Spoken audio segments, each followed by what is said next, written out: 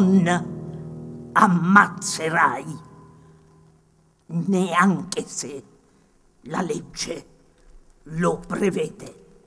Il verbo messo al futuro procurò nei presenti uno squarcio di avvenire. Intravidero un caso narrato da un loro discendente. Videro una folla che portava una donna a lapidare, un'adultera, per le vie di una grande città. Non potevano saperlo. Si trattava di Gerusalemme. La sentenza emessa dal massimo tribunale sta per essere eseguita. La processione attraversa piazze e strade. Lungo il percorso incontra un forestiero.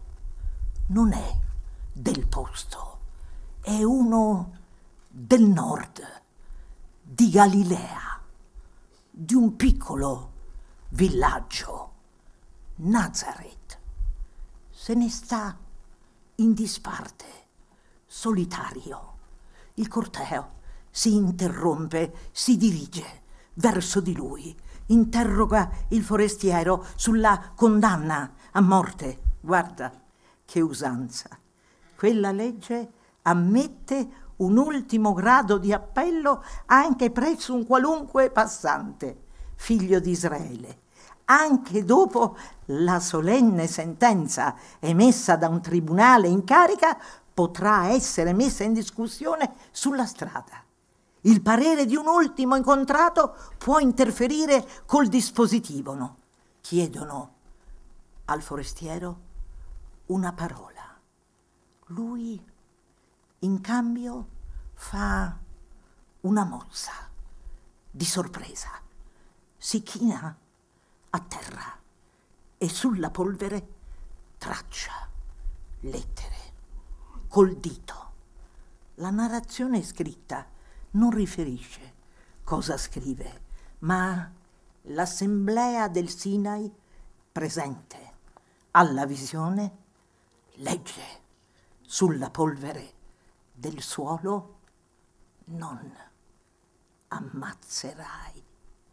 Con pochi gesti e parole il forestiero disfa la sentenza di condanna a morte. La donna è sciolta.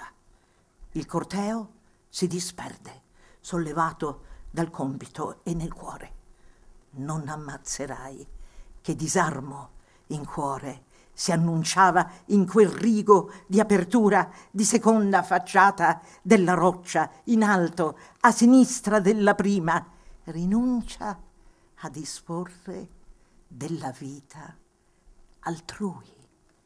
Non sarai adultero.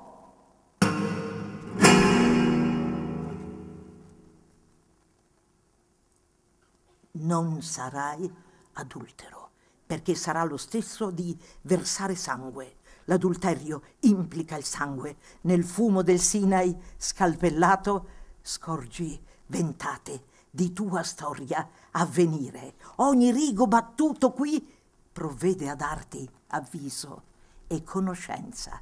Rispetterai l'amore degli sposi, il loro giuramento tra loro è dichiarato un patto in cui non hai diritto di parola. Non importa cosa lo mantenga, se interesse, abitudine, paura, tu non profanerai l'unione stabilita. Sotto il Sinai, nell'arsura del giorno, uomini e donne intesero che si sarebbe deciso molto dello scambio tra loro e l'infinita controparte. Sarà un inciampo per quelli che verranno. Lì con loro c'erano tutte le generazioni convocate dalle parole ardenti conficcate a caldo, l'assemblea uscita dall'Egitto e messa allo sbaraglio della libertà seppe che il futuro è un vento che raggiunge venendo dalle spalle.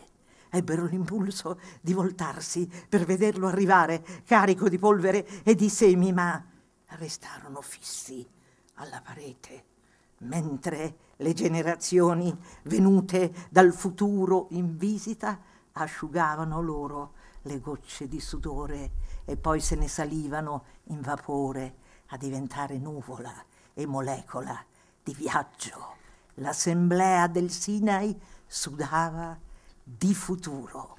Insieme a loro cantavano a labbra chiuse le assemblee a venire.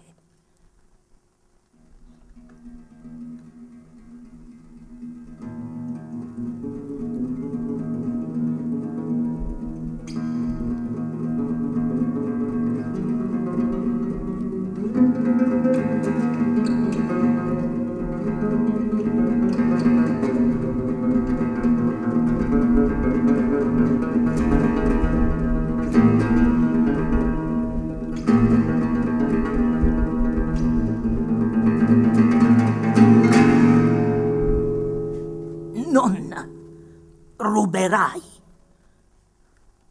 nella necessità, non ruberai e non maledirai la terra che ti sostiene e il cielo che scorre su di te e se lavorerai a salario il prezzo della tua fatica ti verrà pagato il giorno stesso. Un salariato che vende la sua forza alla giornata non è un servo né un forzato.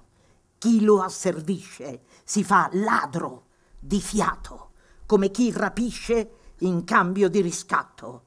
Se la persona umana è abbassata a merce, a re furtiva, chi la riduce a questo è ladro.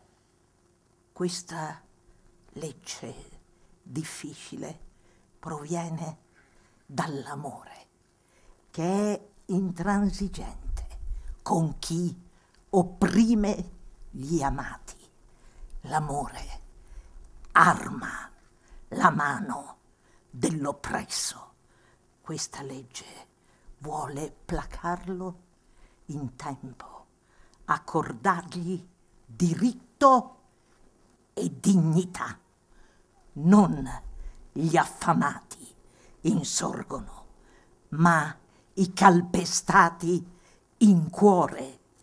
Non ruberai la loro porzione di uguaglianza.